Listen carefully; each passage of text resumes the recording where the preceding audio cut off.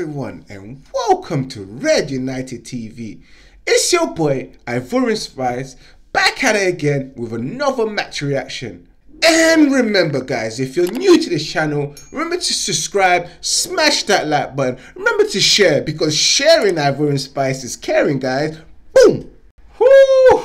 And today, guys, it's Manchester United 2, FC Granada nil. Granada. They got nada again. Manchester United knocking out FC Granada with no goals. No goals in two legs. In the fact that in those two legs we kind of really didn't do anything in terms of being at our best, but winning, going through to get through to another semis. Whew, it's been, you know, what I've got to say, interesting.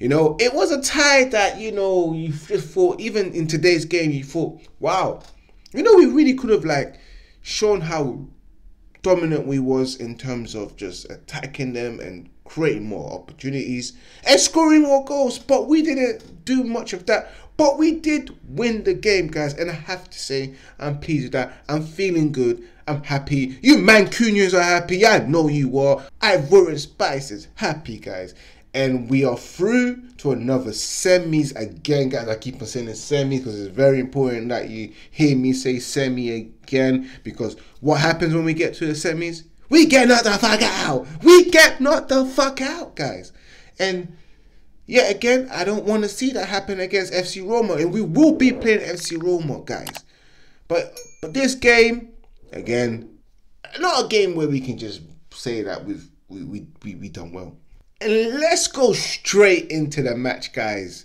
Ah, Cavani. Ah, Matador. Ah, aka Tarzan. You know it looks like Tarzan. Let's not lie, guys, because he absolute like Tarzan. Mowgli. Spitting image of Mowgli as well. Like I can picture him right now. You picture Tarzan right now. He looks like Cavani in it. Am I lying? See, I wasn't wrong. But yes, Cavani scoring a volley from a brilliant, brilliant Pogba assist, a brilliant back header, like a flick on, just to assist Cavani so Cavani can volley that goal in. And I've got to say, Paul Labile Pogba was the captain today. He was the man that was leading the team out. And I was pleased to see him with the captain armband. I would like to know, I like to, I would like to know what you guys think about that because I thought it was a good thing. Because if it means for him to sign a new contract, you know, to get some kind of responsibilities in the team and leadership. Let it be because I want Labile to stay. You want Labile to stay. I know some of you guys who act like you hate him or those of you who hate him, deep down in your heart, you all want Labile to stay. So let's let's not kid ourselves. Let's not kid ourselves. But yeah, again, Labile got himself in a bit of a hissy fit or a little bit of a tangle where he got booked with a yellow card and it potentially could have got sent off with a second book yellow card, a second bookable offense, but he got away with it. He wish he survived in the 45 minutes because we all thought that situation. Oh my god, Pogba looks like he might get sent off. Ollie, don't do what he did against Fred, and we and we did not see that today. Ollie learned from his lessons, you know. In that second of Paul Pogba coming off for Donny van de Beek to come on, which I thought was a good idea. And I thought, yeah, Ollie's not showing negligence anymore. Well, I'm not going to say anymore because he is quite naive and he shows a lot of negligence in certain aspects, especially with today's substitutions. You know, he could have done it a bit early, but you know, he didn't. But back to the games, guys. As you know, with Manchester United in that second half against Granada, 1 0 up, 3 0 up on aggregates, you know. Manchester United just ugh, done what they usually do. Another stinker. And I said to my guys on the, the United podcast, if you catch that on bits and bobs, you know, every Wednesday, guys, I said to my man, them, it's going to be a stinker. You're going to be bored. In fact, we probably might just win 1 0. Um, a 90th minute goal, just as you are just about to just fall asleep, they score a goal. But I was wrong. Manchester United scored an early goal in the first half. In that second half, Manchester United scoring another goal. Although the second half was quite shit and boring, Telles with an assist, you know, crossing it in. Of course, you got Villarreal scoring an own goal, which I was thinking, what the hell was you thinking? What the hell are you doing being there in that position? Because he's, he's not even a defender at the end of the day. We don't know what he was doing there. But boy, oh boy, oh boy, he conceded the goal and made us 2 0 up.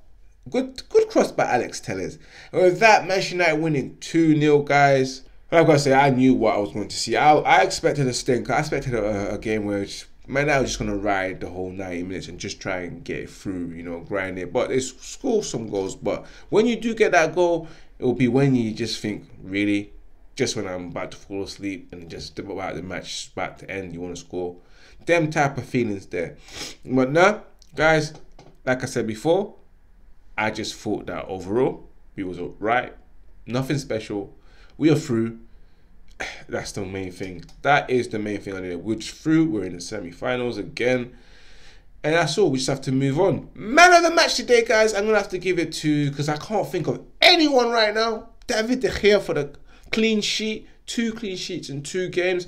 I want you back at the number one spot, but Henderson is doing his thing, fam. So I'm sorry, fam. It is what it is, man. I'm with you, David De Gea. You know, I even say your name with an accent, bruv. I'm the only black brother that says your name with an accent, David De Gea. You know, unless you're in Spain, but these people around here, it's only me. I'm showing you that kind of level of respect. So boy, I'm sorry, fam. Donkey of the match day, gotta be no one today because I can't really think of anyone. Manchester United holics. The question is, will we need Viagra for the semis to get past our semis situation problems, you know, our erectile dysfunction problems? Will we need Viagra? And that's the question I'd like to ask you. You guys let me know in the comment description. You also guys let me know who your man in the match was. And you also let me know who your donkey in the match was. Let me know what you thought of the match. Because this has been your match reaction by Ivorian Spice. Get me guys. And of course, remember to follow the social. Remember to follow the official Instagram account of Red United TV, which is Red United TV 1, baby. And also remember to follow the official TikTok account, which is Red United TV, and also my own personal Instagram account, which is Ivorian underscore Spice, across all the socials, same for Twitter, same for the Snapchat.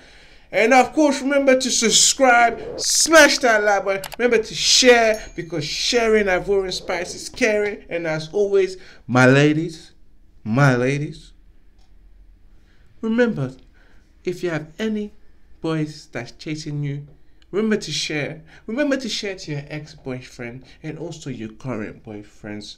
And also the guys trying to chase you in your local chippy. The guy that's trying to move to you at the train station all the time or at the bus stop. And also to your pastor who's been slightly trying to get at you and dropping little hints and that. Like, ah, my God, you are growing. And your uncles that's been trying to tell you, ah, you have grown. Yes?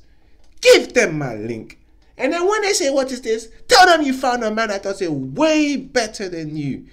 As remember as always, guys, remember to keep it united and remember to keep it red united. Peace out.